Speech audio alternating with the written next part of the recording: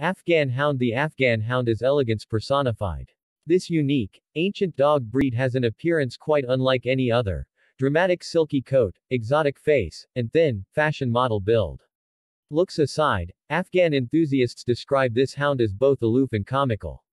Hailing from Afghanistan, where the original name for the breed was Tazi, the Afghan is thought to date back to the pre-Christian era and is considered one of the oldest dog breeds. Although they're purebred dogs, you may find Afghan hounds in shelters or in the care of rescue groups. If this is the breed for you, opt to adopt if possible. Affectionate and adaptable, these dogs do well in just about any size of home with any size of family. That said, you'll need to spend quite a bit of time maintaining that luxurious coat, not to mention plenty of exercise to handle their high energy levels. If you can provide the care that they need, you'll have a loving companion who will surely turn heads with their gorgeous looks. More about this breed The Afghan hound was originally used for hunting large prey in both the deserts and in the mountains of Afghanistan, where his abundant, flowing coat was needed for warmth. The Afghan was highly valued for his ability to run, fast and over great distances, courageously holding dangerous animals, such as leopards, at bay until his huntsman on horseback caught up. The Afghan was also valued for his ability to think and hunt independently, without human direction. Today's Afghan hound isn't hunting leopards but this sighthound does retain the independent nature of a coursing hound. An Afghan puppy will eagerly seek affection from family members, just like puppies of any breed, but this puppyhood behavior can fool unsuspecting owners. Cute puppy antics diminish as the Afghan matures. A mature Afghan hound does not lavish attention on anyone, and sometimes don't even want to be hugged or petted. The free-thinking, independent Afghan will decide for himself when he wants affection, and it will be on his terms, not yours. Independence and indifference aside, the Afghan hound is tender when he wishes to be and can be very amusing. Often referred to as a clown, by his affectionate family, the Afghan hound is known to be mischievous and stories abound of this breed's ability to steal objects from under the very noses of family members, even going so far as to open dresser drawers and snatch clothes. With an ability to see far greater distances than humans and pivotal hip joints that enable him to cover ground quickly and easily clear obstacles, the Afghan is a natural for a sport called lure coursing. In lure coursing, the hounds give chase to plastic bags that are used to create the effect of escaping game. This competition tests the dog's ability to hunt by sight, and basic coursing instinct. In 1972, the American Sighthound Field Association ASFA began, and continues to operate and oversee a program much loved by owners and dogs alike. Whether competing in a coursing event, or enjoying life as a playful family companion, the Afghan Hound is a one-of-a-kind breed. Highlights grooming is essential. Only those who really enjoy grooming, or are willing to pay a professional groomer to do it, should consider an Afghan hound. The Afghan's natural hunting instinct prompts him to chase prey, the neighbor's cat, your son's rabbit, the third grade class hamster, etc. The Afghan hound can be challenging to train due to his independent nature. Training can take a long time and requires patience. House training can be difficult. This breed can continue having accidents in the house up to about 6 months of age. The Afghan Hound has a low pain tolerance. A minor wound is more bothersome to this breed than to other breeds, and this dog can sometimes seem whiny or babyish. Afghan hounds are sensitive and high-spirited and do not respond well to rough handling so be gentle. Although this particular breed is usually good and even loving with children, it is best if the puppy grows up with the children he'll live with and the children are mature enough to understand the importance of being considerate of this dog's sensitive nature. To get a healthy dog, never buy a puppy from an irresponsible breeder, puppy mill, or pet store. Look for a reputable breeder who tests her breeding dogs to make sure they're free of genetic diseases that they might pass on to the puppies, and that they have sound temperaments. History The Afghan Hound comes from Afghanistan, where the original name for the breed was Tazi. The breed has long been thought to date back to the pre-Christian era. DNA researchers have recently discovered that the Afghan Hound is one of the most ancient dog breeds and dates back thousands of years. The first documentation of a Western Afghan breeder is that of an English officer stationed near Kabul. Afghan hounds from his Ghazni kennel were transported to England in 1925, and then made their way to America. The breed was recognized by the American Kennel Club in 1926 and the Afghan Hound Club of America was admitted for membership with the AKC in 1940. Zeppo Marx of the Marx brothers was one of the first to bring Afghan hounds to America. In the late 1970s, the hound's popularity soared when Barbie, who is responsible for more than 80% of Mattel's profits, and Beauty, her pet Afghan hound, found their way into the homes and hearts of countless American girls. During this same decade, the development of lure coursing competitions added to the breed's appeal. In the 1980s, the Afghan became a popular AKC show ring star and, in spite of its independent nature, has branched out into obedience competition. Size males are 27 inches plus or minus 1 inch and about 60 pounds, and females 25 inches plus or minus 1 inch and about 50 pounds.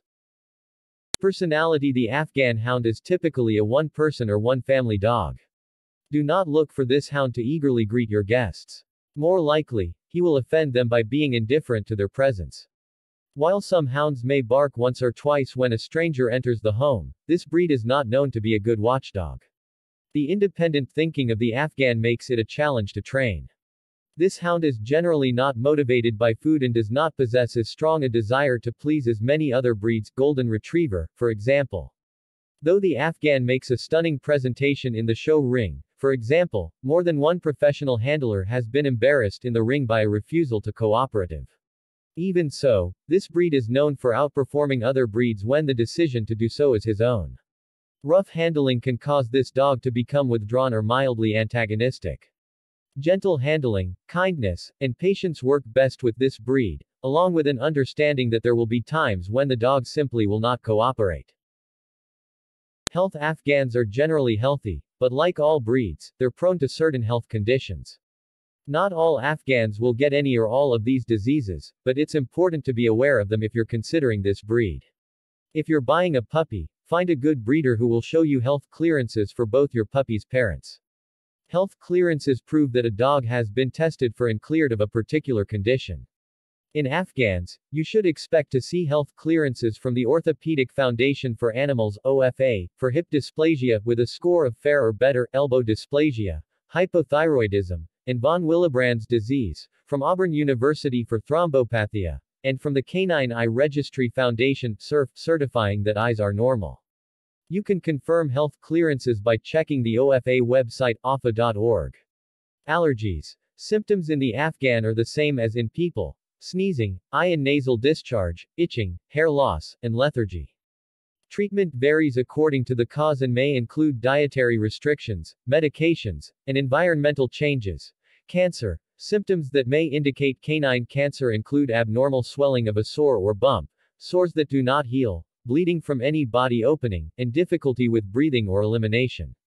Treatments for cancer include chemotherapy, surgery, and medications. Juvenile cataracts. The Canine Eye Registration Foundation CERF defines cataracts as a partial or complete opacity of the lens, and warns this is the leading cause of vision loss in dogs. Depending on the severity, cataracts may sometimes be removed surgically. Hypothyroidism. This is a disorder of the thyroid gland. Symptoms include chronic ear infections, bacterial infections of the skin, hair loss, lethargy, and depression. This condition is most commonly treated with medication and diet. Care Afghan hounds prefer being inside with family. They're laid back and calm in the house but are naturally active dogs and need daily exercise, which ideally includes a leash walk or run, plus a free run in fenced area. High, secure fencing is a must if you plan on keeping your hound in a yard. The Afghan is an adept escape artist and once loose, is truly hard to catch. Remember, he can outrun horses. Consistent obedience training is necessary and positive reinforcement methods work best. Feeding recommended daily amount. 2 to 2.5 cups of high-quality dry food a day, divided into two meals.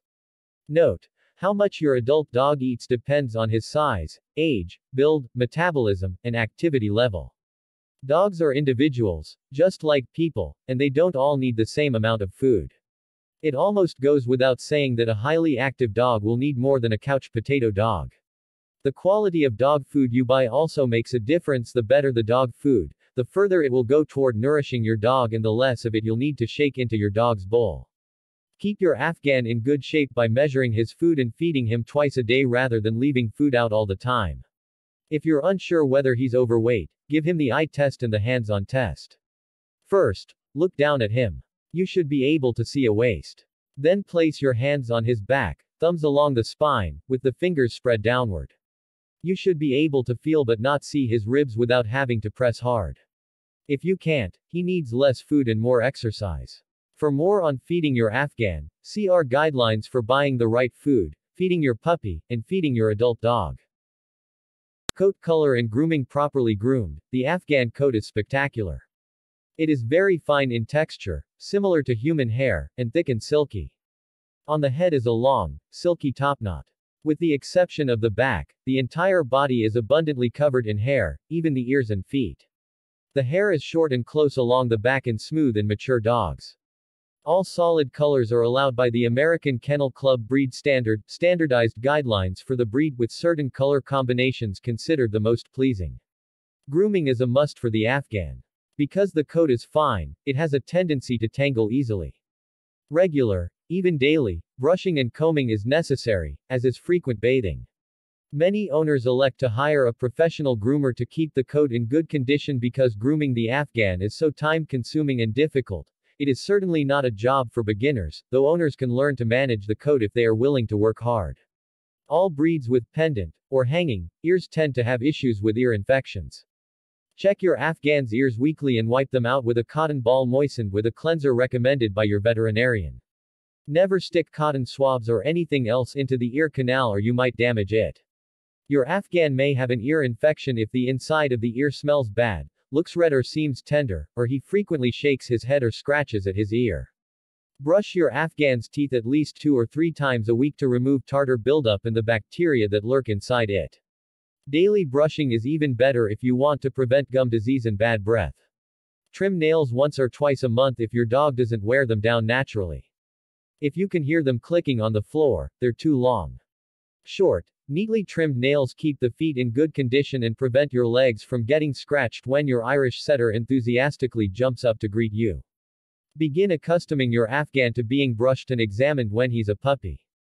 Handle his paws frequently dogs are touchy about their feet and look inside his mouth and ears.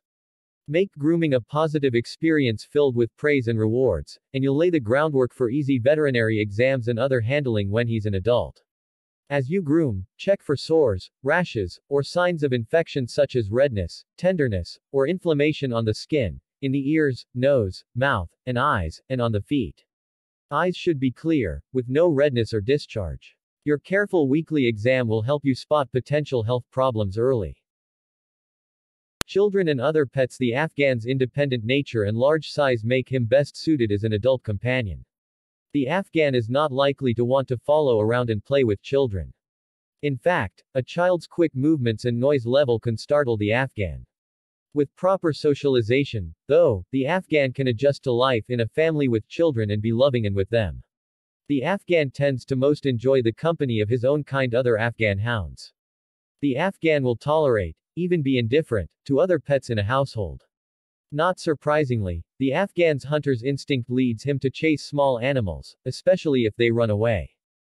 Rescue groups Afghans are often purchased without any clear understanding of what goes into owning one. There are many Afghans in need of adoption and or fostering. There are a number of rescues that we have not listed. If you don't see a rescue listed for your area, contact the National Breed Club or a local breed club and they can point you toward an Afghan rescue. Afghan Hound Club of America Rescueafghan Hound Club of Canada.